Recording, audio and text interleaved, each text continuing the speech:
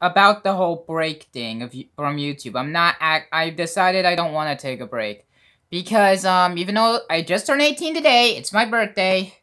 I've decided not to take a break. I don't have that much schoolwork to get catch up on, and I know if I go away from YouTube, I'm going to end up wanting to come back anyway. So I'm not going to take a break just yet. I will do like a couple more videos, but I got some new games I'm going to play.